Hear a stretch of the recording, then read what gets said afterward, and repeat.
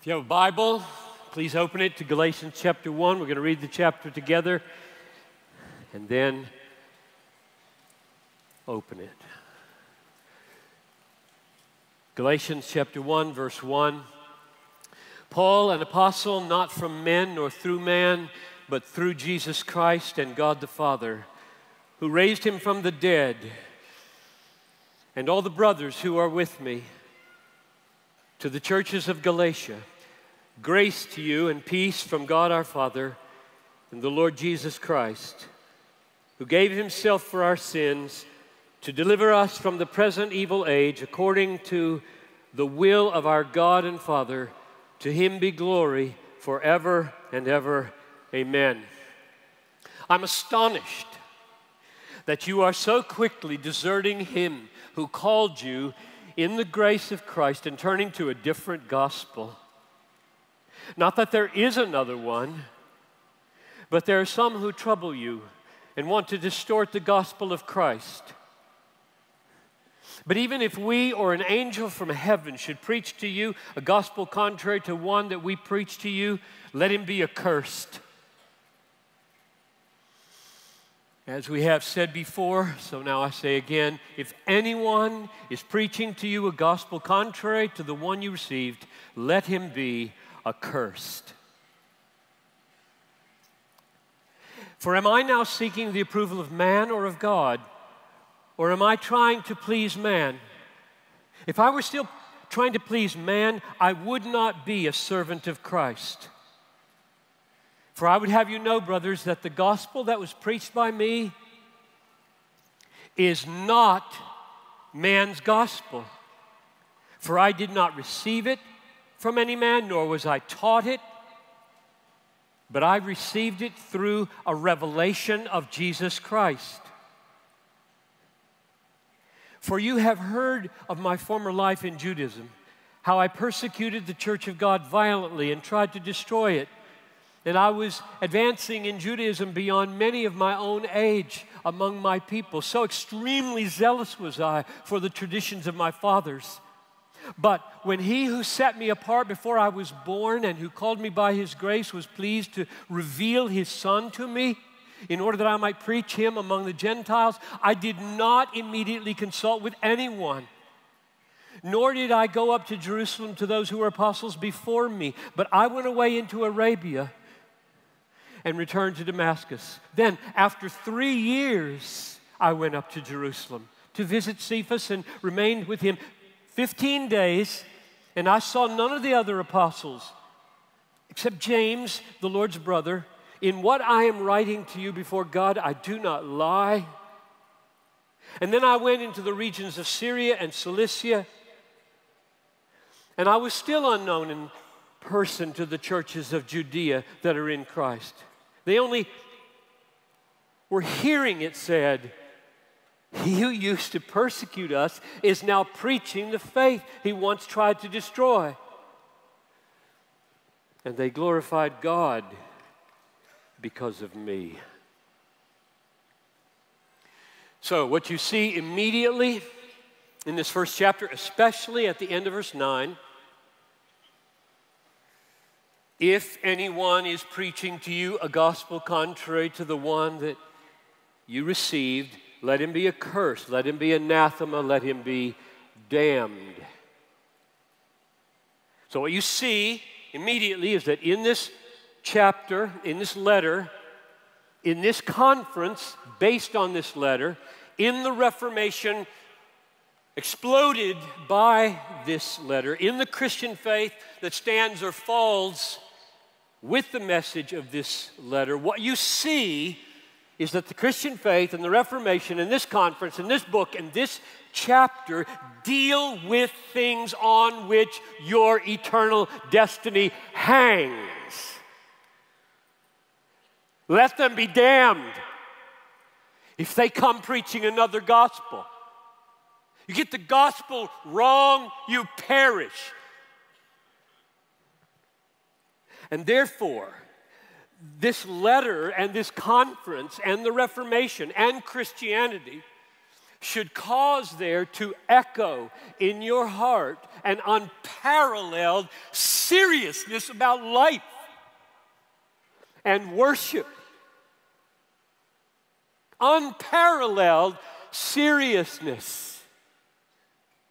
Unparalleled seriousness of joy that grace and peace is ours in verse 3 joy that deliverance from this present evil age and its destruction is yours in Christ Jesus. Joy that there's an all satisfying glory of God being exalted through this letter in verse 5. Unparalleled seriousness of joy and unparalleled seriousness of astonishment the people you know, people in your church, people in your family are walking away from the gospel of grace and perishing because somebody has held out to them an alternative that, for some insane reasons, seems superior. And you want to say, How can you do that? You are astonished with serious astonishment. And third, an unparalleled seriousness of anger in verse 7. Let them be accursed. So there's this group purporting to be from James, says that in chapter 2. And they are distorting the gospel, adding to the gospel. And Paul is calling down a curse on them. Whose curse? Paul's.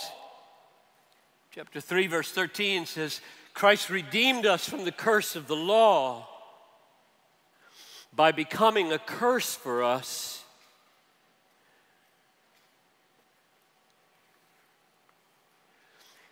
Paul is calling down God's curse upon people who are directing people away from the curse remover.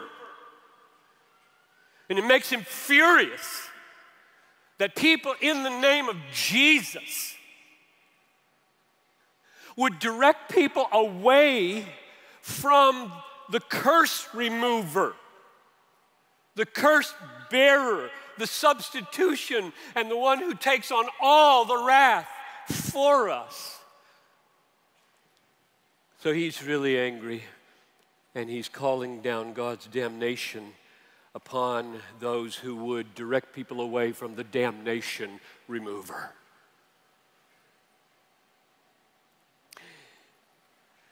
So we are serious people. You, you can't read the New Testament, you can't read this chapter and be glib, trifle, joke around with the Bible. The people in your life who are being enticed by alternative gospels desperately need you to talk to them like this. You are severed from Christ, you who would be justified by the law. You have fallen from grace.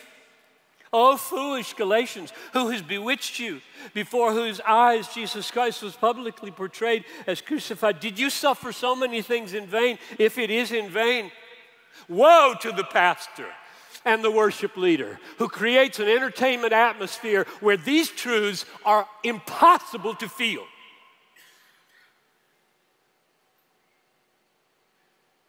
It matters what the service feels like.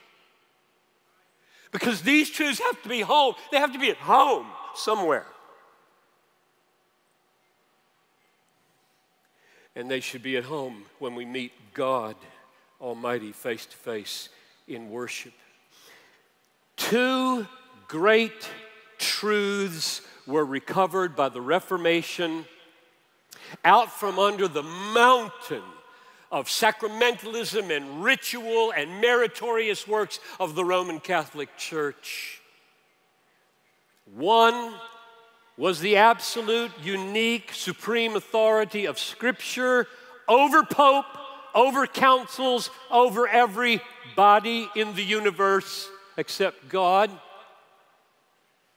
And secondly, the precious gospel of justification by grace alone, through faith alone, on the basis of Christ alone, for the glory of God alone. Those two glorious things were recovered by the Reformation from under a mountain of sacramentalism and ritual and meritorious works. They're called by some the formal principle of the Reformation, and by and the other one is the, the material principle. Formal, the authority by which we say what we say, and the material, what's the stuff of it, namely at the heart, justification. Those two recoveries happen in large measure because of Galatians, because, not coincidentally, that's the way Galatians is structured. The first two chapters of Galatians are about the formal principle, Paul's authority. And everything hangs on it as far as he's concerned. If he's a second class apostle, he didn't get his gospel straight from Jesus, it's over as far as he's concerned. And chapters three and four, the material of justification by faith. Five and six, what does it look like in life? So, my assignment chapter 1. Kind of frustrating because I like the material, not formal. Oh, this is a good chapter. I'm okay, Don. It's all right. I'm having, I had a very good time getting ready for this. So I'm in chapter one, and I want to see how Paul argues for what he's arguing for. Here's how I'm going to do it. This is kind of a little lesson in homiletics. Take it or leave it. Nothing authoritative about this. I love to read a paragraph or a chapter and see how the author said it. And then I love to just claw in there and rebuild the argument without losing anything, but I think gain, gain, gain by putting at the bottom, and the first thing, the most foundational reality, and then what resulted from that, and then what resulted from that, and when what resulted from that, until you get to the main, highest, supported by everything level. So that's what we're going to do. I've got eight steps, eight steps that are built as I understand his logic, not in the order that he gave them but in the order of how they actually, in reality, come into being. I try to explain this to the seminary guys we have, and it doesn't always make sense to them. So let me let me give an illustration. You come up to me and you say, I can't talk now, I'm late, I have to hurry, or I miss my train. How many propositions? Four. say them again. I can't talk now, I'm late, I have to hurry or I'll miss my train. You, you just totally get that immediately. There is no difficulty understanding that. You know why? Because there's only four, there aren't 70, like there are in Galatians 1.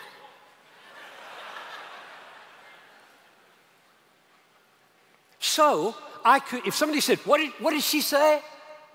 And, and I, I would, I could just repeat it. She said, I can't talk now, I'm late, I have to hurry or I'll miss my train. Or I could do exposition and rebuild the argument from the most foundational thing to the conclusion, which would go like this um, She was late. Therefore, she was about to miss her train. Therefore, she was in a big hurry. Therefore, she couldn't talk to you. That's a totally different order of propositions. That's exactly the logic I think she meant. So that's what we're going to do. Galatians chapter 1, rebuild the argument from the bottom up. And And the reason I, I find this helpful, as I said, is that most of us preach on sections that are a little longer than, than four little tiny two word sentences.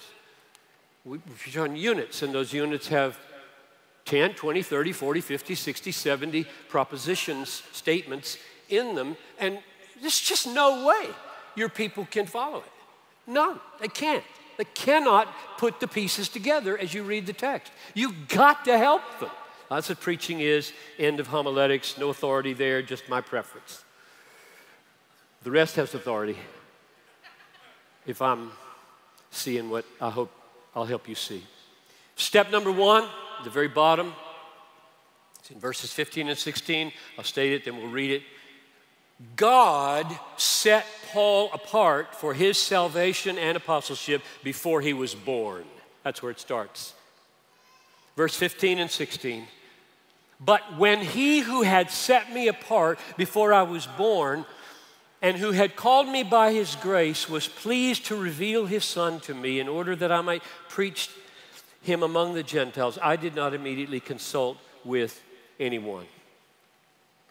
So God chose Paul before he was born to be an apostle to the Gentiles. It's not even a main clause, just threw it in there. Or did he? Is anything thrown in under inspiration?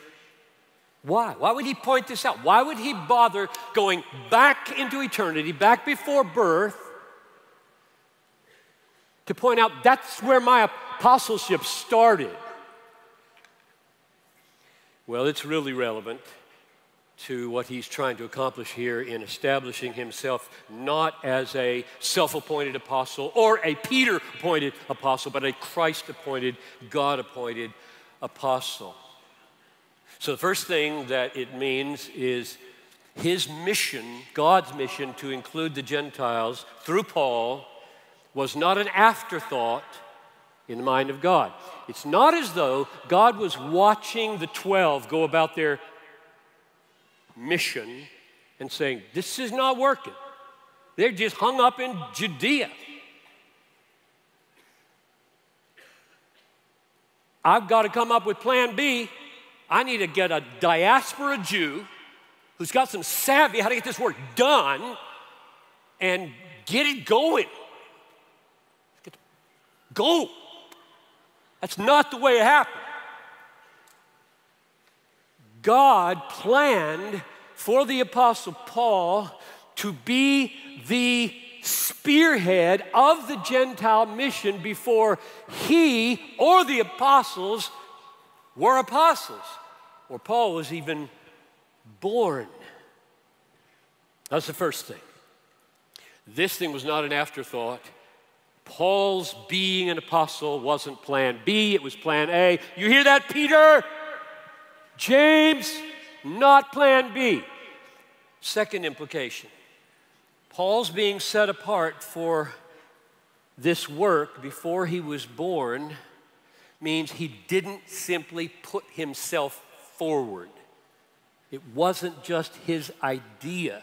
He, he was not warming to this while he killed Christians. He wasn't. Look at verses 13 and 14. You, for you have heard of my former life in Judaism, how I persecuted the church of God violently and tried to destroy it. And I was advancing, I was advancing in Judaism. I wasn't advancing toward Jesus. I was advancing in Judaism before, beyond many of my own age among my people. So extremely zealous was I for the traditions of my fathers. In other words, God chose me before I was born and let me become a murderer of his children so that when he called me, it would be plain it wasn't my idea. Right? You think God didn't know what Paul was going to become? So he chooses him in the womb. He spends a decade killing Christians. You're mine.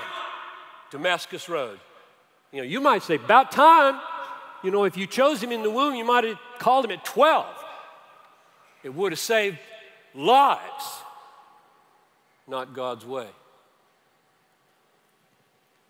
Clearly, then, that he was chosen in the womb is massively relevant. It's not plan B, not my idea. God has made me an apostle. Step number two, up one level in the argument. God called Paul to himself by revealing Christ to him. Now, this should sound Pauline, as it is. Those whom he predestined, he called. Those whom he sets apart before they were born, he calls. Verse 15 When he who had set me apart before I was born and called me by his grace was pleased to reveal his son to me. I, I think that calling and that revealing are probably simultaneous.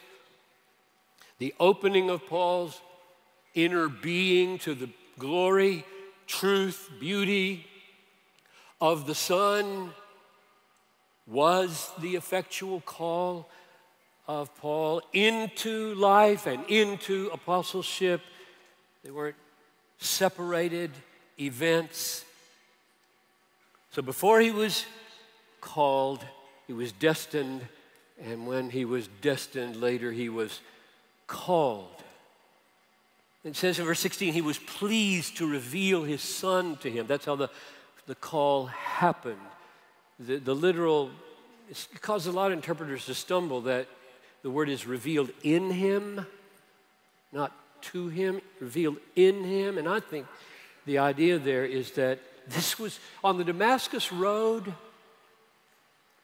When that light shone and that voice was spoken, it just didn't happen to Paul. Like, whoa, that's bright. That's scary. It went totally in. It's totally in. And in there, with the eyes of the heart, Ephesians 1:18, in there he saw. That's real. That's true. That's beautiful. That's glorious. If you are anything, you are everything. My religion is over.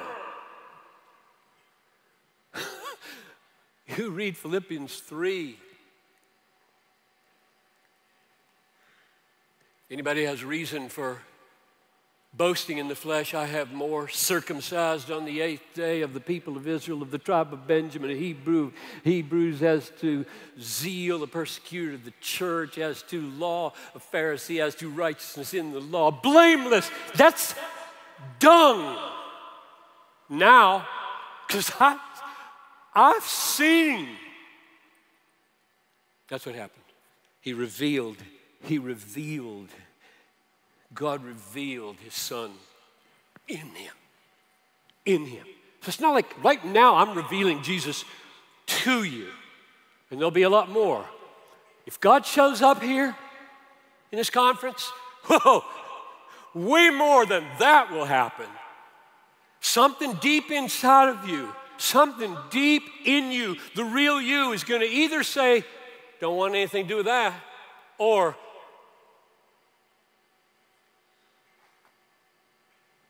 This is everything. Step three, he avoided all contact with the 12 apostles by going to Arabia for three years, or maybe part of that was in Damascus. And then he spent only 15 days getting to know Peter. So the point of verses 16 to 21 is that Paul didn't consult with flesh and blood while his new understanding of everything he'd ever thought about the Old Testament was being formed. So he was getting his gospel from Jesus, he was getting his authority from Jesus, and he was not consulting with flesh and blood with any man at all. So let's read those verses 16 to 21. Couple of comments as we go. When God was pleased to reveal his son to me, in order that I might preach him among the Gentiles, or reveal him in me, I did not immediately, but now the word immediately in the Greek is it's, it's, it's in an odd place. It's at the beginning. Immediately I did not. It's like, okay, immediately I saw, whoa, this is not a time to check out my facts with Peter. I have met Christ. Like, why would I want to go say, Peter, is that hallucination?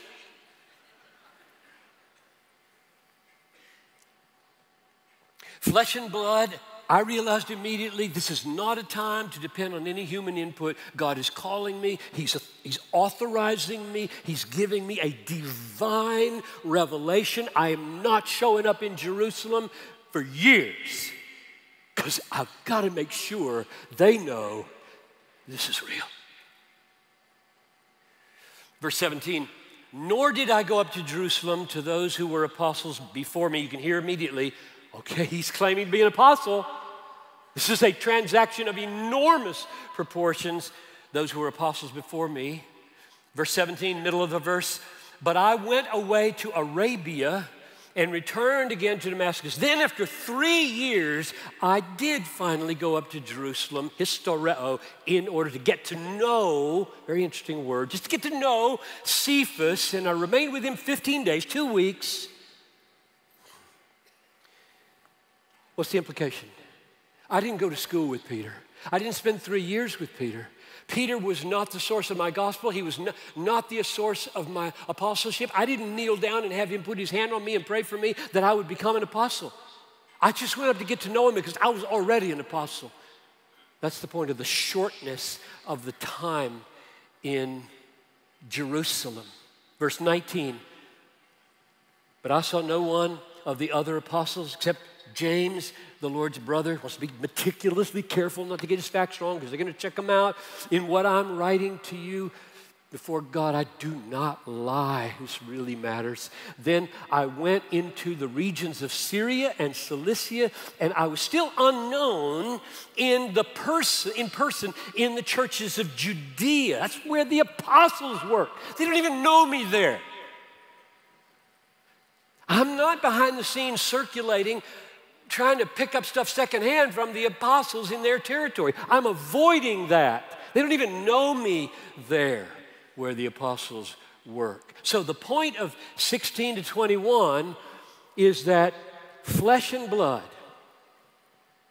any human resource at all, flesh and blood, no apostles, no other human, flesh and blood did not call me, Flesh and blood did not reveal Christ to me. Flesh and blood did not teach me the gospel. Flesh and blood did not make me an apostle. Flesh and blood did not make me dependent. I am not dependent on Peter and James and John. There is zero, no apostolic succession from the 12 to Paul. None. This is not a succession. This is bolt out of the blue Christ. That man is mine and he's my apostle for the Gentiles. Step number four Paul is radically new. He's radically new. And his change as a new man, he says, can only be accounted for by the risen Christ, by the glory of God. So he ends his description here, verses 20 to 24 of his freedom from influence with the amazing impact that his life had on the churches in Judea. He says, Then I went into the regions of Syria and Cilicia, verse 21, now 22, and I was still unknown in person to the churches of Judea that are in Christ. So during all those years of, of, of circulating, those three, he didn't go there.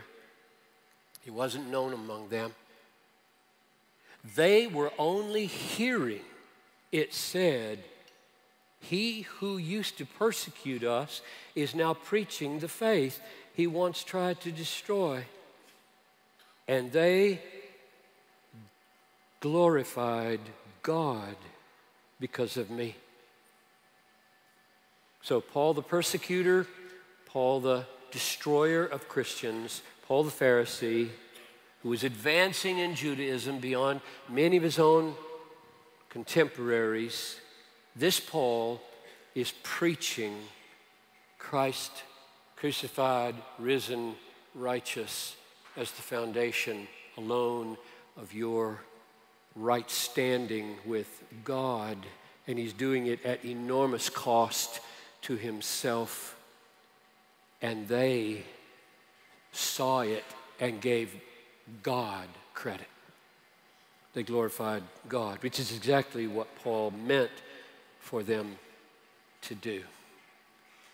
Which leads now to step number five. All of verses 13 to 24 are written to support this.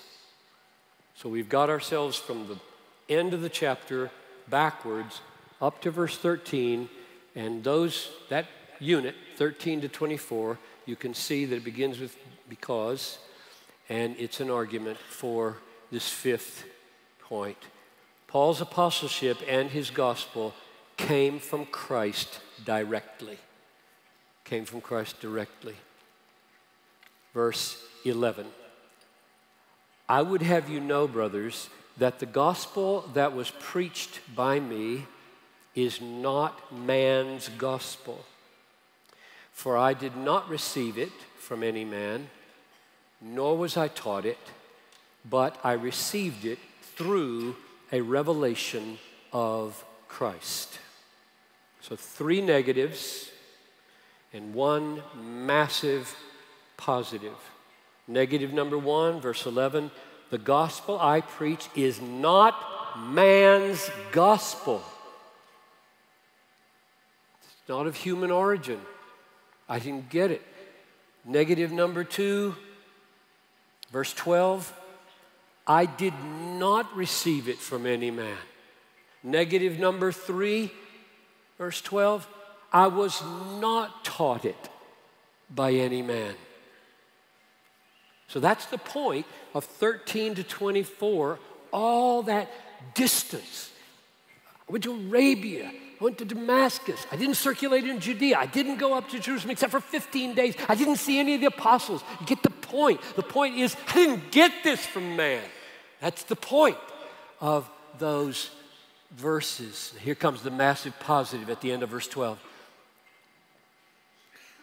It came through a revelation of Jesus Christ. He means most immediately here his message, his gospel. His gospel came not from Peter, but from Jesus Christ. And we know he means his apostleship and authority did as well because of verse 1 when he uses the very same language to describe his apostleship. Paul, an apostle, not from men, nor through man, but through Jesus Christ. So his apostleship, not, just like verse 12, not, 11 and 12, not from man, but through Jesus Christ and God the Father who raised him from the dead. So the very first note he strikes in this book is I'm an apostle and I didn't get it from any human being. I didn't get this authority, I didn't get this gospel from any human being. Now, a little pause here before we go to step number six. 21st century, how many are in this room? Six, 7,000? I don't know.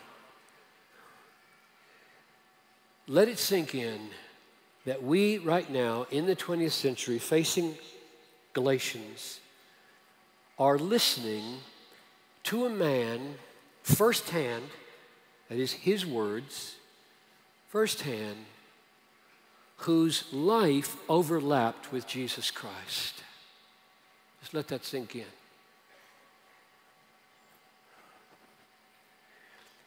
And who says that he saw the risen Christ, met him, received from him divine gospel, wisdom, not taught by men, And in his heart, he knew this is real. So here we are, face to face, with a first century man. No liberal, conservative historian doubts that Paul was real or that Galatians is authentic. Nobody does that. The Muslims who say the whole New Testament, including Galatians, I suppose, was rewritten to add the death of Jesus, they're whistling in the dark. They don't have a shred, not a shred of historical evidence for those claims. That's pure escapism. So we have here an encounter between us and a first century Jew who overlapped with Jesus, who says he saw the risen Christ. And what that means is that before this conference is over, I mean, you're going to hear this man's voice six times, six messages from Galatians. And your heart will respond in one of three ways. One is this man is an impostor and he's deceiving the world and giving his life to do it.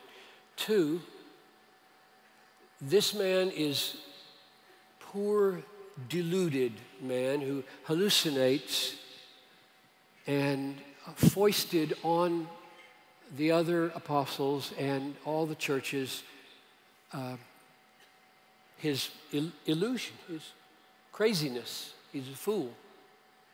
Or this man is a bona fide experiencer of the risen Christ who spoke to him and speaks to us through him. And the reason I say your heart will respond to embrace one of those and not your mind will decide which of those is because that embrace is not decisively a decision you will make. You will either perceive in the writings of the Apostle Paul over these six chapters an authentic, Christ revealing spokesman for the living Christ, or you won't. You can't make yourself see that. You'll either see it or you won't. You'll either love it or you won't. You'll either embrace it or you won't. It'll happen like Paul. It'll be revealed in you, and the eyes of your heart will open to see the light of the gospel of the glory of Christ, who is the image of God, or it won't. I'll just testify that after 60 years of walking with Christ, together with the Apostle Paul as my, my dear friend, whom I love very deeply, I love the Apostle Paul. I love him. I love him more than I love you. Sorry. I don't know you. I don't know you well enough. But I know him. And I love the Apostle Paul. And I just want to testify he's not a fool and he's not an impostor. But you will wind up either, just get one more personal thing. Sunday morning, my daughter leans over me, 21 years old. She leans over me. This is the service is starting to do this. You know, we, her phone showed me a Facebook post by a friend of hers who I know his parents, who said, "I'm no longer a Christian. I am a, an atheist. I don't believe anymore."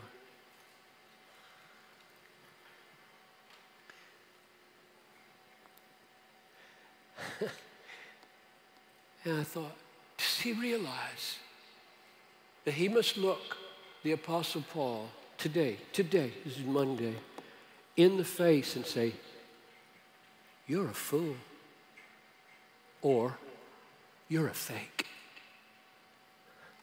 I tell you, not in a thousand years can I look the Apostle Paul in the face, knowing what I know from Romans and Galatians and Philippians and 1st and 2nd Thessalonians and look at him in the face honestly and say, You're a fool. You're a fake. Step number six.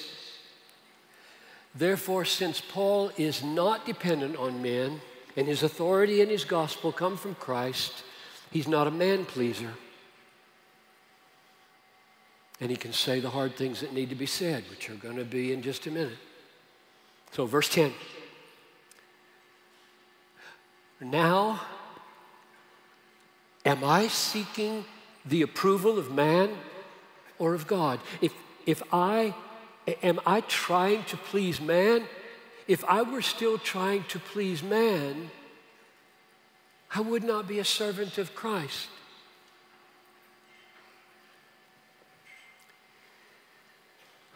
One of the marks of seeing Christ through the scriptures for yourself is that you cease to be a man pleaser. But if your authority and your gospel are dependent on people you're going to be a man pleaser. And if you're a man pleaser, just always one eye watching what they're going to think, what the congregation's going to think, what the TGC leader's going to think, whatever. Just one eye watching what people are going to say and think. What are the comments going to be at the blog? What are the mentions in the Twitter? Blah, blah, blah. what, what, what, are, what, what, if you got your eye on, on that, you won't be a faithful witness to Jesus. You'll be a coward, is what you'll be. So it's interesting, isn't it, that Paul, in this sequence of argument, aiming to say that he's an authoritative apostle alongside Peter, James, and John, did he bother with verse 10?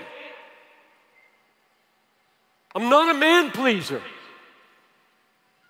Probably just because the word begin, I mean, the verse begins with for, because he has just said horrible things. So let's go. Step number seven.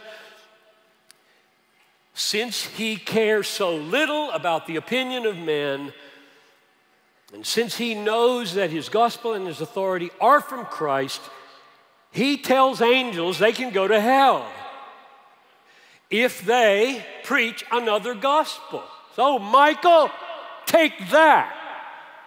Gabriel, you hear me? You preach another gospel down here? Be damned. That's pretty gutsy. I mean, they're pretty strong. Let's read it.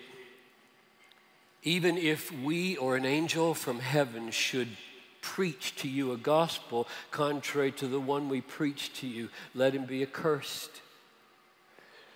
As we have said before, so now I say again if anyone is preaching to you a gospel contrary to the one you received, let him be accursed. Notice, he doesn't say if Peter, James, or John preach a different gospel, let them be accursed. He could have said that easily. He said, I'm raising the stakes way higher than that. I'm talking about angels versus Paul, and Paul versus Paul. That's what I'm talking about.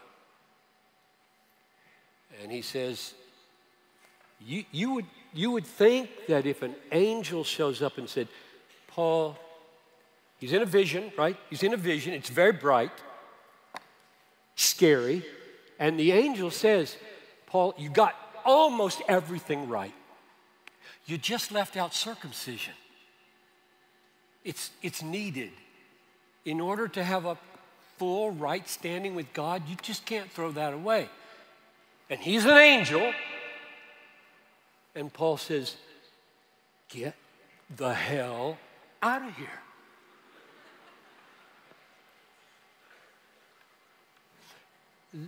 Paul versus Paul is a little tricky, isn't it?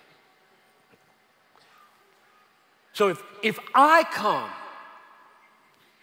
authoritative infallible, when teaching to the church apostle, and I say, uh, I made a mistake. I now need to include circumcision in the ground of justification. And Paul answers, Let Paul be damned. They say, Whoa, wait a minute. Which Paul should we damn? And he would say, The second Paul, because the second Paul considers the first Paul fallible. And apostles aren't. So he's wrong.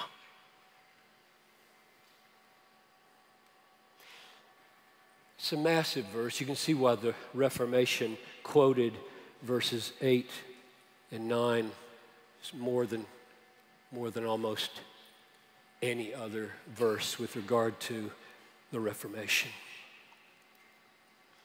Paul is calling false gospels out. By the way, I don't think Peter's dissimulation in chapter 2 contradicts what I just said.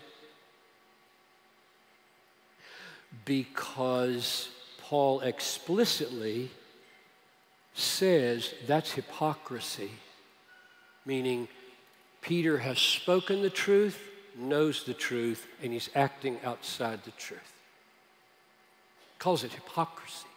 And then in verse 15 of chapter 2, he says, We believe that a man is justified by faith apart from the works. I mean, you and, you and I, Paul, we're one on, I mean, you and I, Peter, we're one on this. So would you just quit leaving lunch with the Gentiles? Which, which does mean that great teachers can do very stupid, sinful things. Number eight, last one. It is absolutely astonishing that you would turn away from the God whose way of salvation is grace. Verses 6 and 7. I'm astonished that you are so quickly deserting Him, Him who called you in the grace of Christ and turning to a different gospel. Not that there is another gospel, but there are some who trouble you and want to distort the gospel. So isn't it interesting? I mean, I just find this so sweet. He has, this whole chapter would lead me to think that what he's going to say as the ground of his astonishment is I'm just astonished that you are leaving a gospel given to you by one who got it straight from Jesus. That's not what he says. At the very moment where his astonishment is at its peak, he's saying, I can't believe you would leave him you saw him crucified in my preaching. Didn't it penetrate? Oh, I pray. It did penetrate, didn't it? You saw him, and he called you out of darkness into marvelous light. You are leaving grace. Don't leave grace. What is there outside grace? That's, that, that's the ground of his astonishment, even though he spent his whole chapter building a case for his unique authority.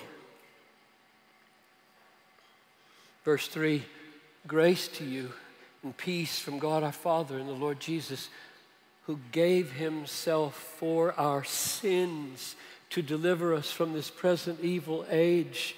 You're going to leave him? He gave himself for you to deliver you so you will not come into judgment when this old age is judged.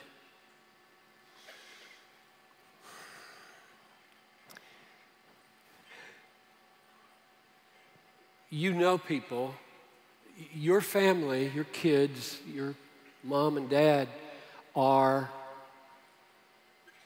being lured by false gospels every day.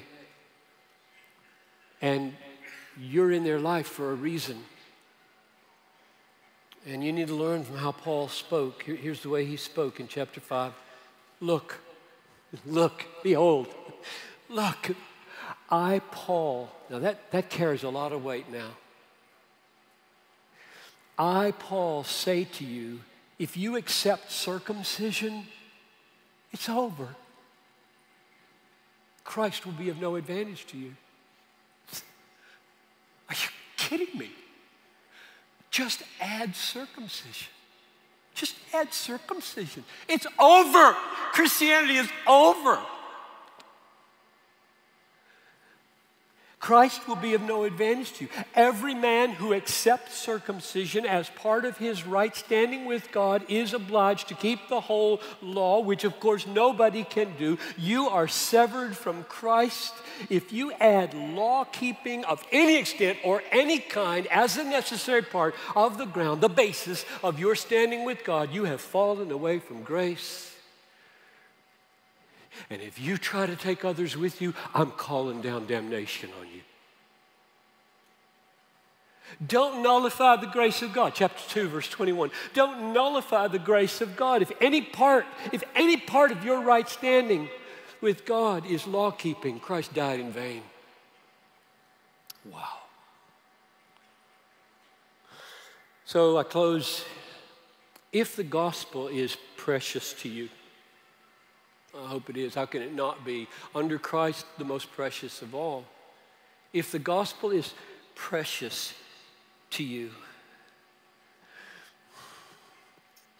I hope and I pray that you'll hold fast to the gospel and to the, the unerring authority of Paul, who says that the two are inextricable. That's the whole point of the formal principle in Galatians 1 and 2. If my authority fails, then gospels can be many because Christ has not spoken through me. Luther saw this. Here's the way he spoke about Galatians 1:8. I consider it proper that the words of Scripture in which the saints are described as being deficient in merits, so Scriptures are saying you're deficient in merits, are to be preferred to human words in which the saints are said to have more merits than they need, for the Pope is not above but under the Word of God. That's the Reformation bell that's ringing. The Pope is not above but under, it's not even alongside. So the Roman Catholic Church today would say this alongside with, this, with the Pope, of course, giving the decisive interpretations and therefore ruling the Word. And then he quotes Galatians 1 8, even if we or an angel from heaven should preach to you a gospel contrary than that which you preach, let him be accursed. Indeed, indeed, the Pope is under the authority of the apostles, the scripture, that if he, the Pope, or an angel, or an apostle, or any media, or any blog says there is another way to be right with God than justification by grace alone, through faith alone, on the basis of Christ alone, minus circumcision and every baptismal thing you might add to it. Let him be accursed. I pray that not only will you love, when this conference is over, that you, you will not only love the apostolic authority and not only love the apostolic gospel, but that you will feel the apostolic seriousness. The seriousness of astonishment that people in your life, your family, your church are walking away from grace. The seriousness of anger at those who devote their lives to giving distorted gospels that destroy souls, and especially the seriousness of joy, inexpressible and glorified that your sins are forgiven because He died for them, and that your right standing with God, your right standing with God, is based on grace alone, through, received by, appropriated in the union with Christ by faith alone, on the basis of Christ plus nothing to the glory of God alone. Let's pray. So, Father, that's what we long for a seriousness of astonishment, a seriousness of anger, a seriousness of joy in the gospel and in the authority of your word. Oh, establish your people. Pray, Jesus'